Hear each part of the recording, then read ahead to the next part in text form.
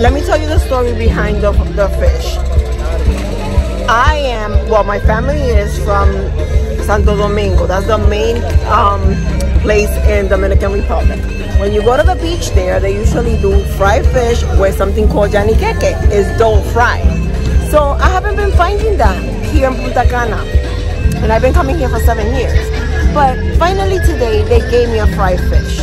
So I'm gonna share that with you. Fish. Look what it looks like. Fried fish. Look at this. Typical Dominican dish. Fried fish. These are some little shrimps, ceviche, and that's our burger. And of course, we have Jose here munching his life away. Right, Jose? Say hi. Pretty good.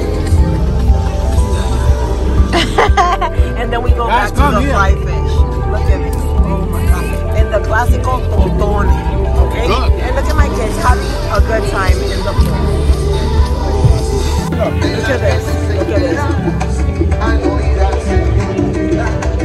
So good. So good. And this is mine.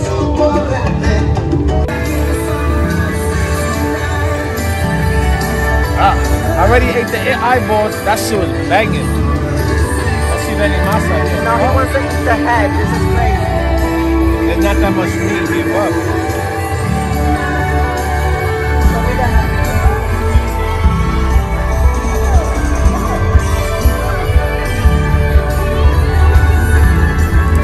pretty good.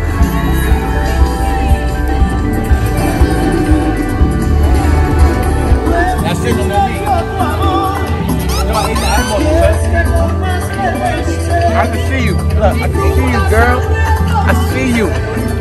Huh. Yo, dude, relax. Yeah, but see Say bye. Bye, guys. I hope you Have a enjoyed. blessed life, guys. I hope you enjoyed this video.